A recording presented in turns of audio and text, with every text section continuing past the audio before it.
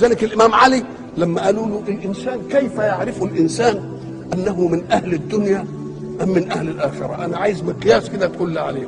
قال له مقاييس كل مؤمن مع ذاته. هل توجد مقاييس لمؤمن مع مؤمن آخر؟ لا.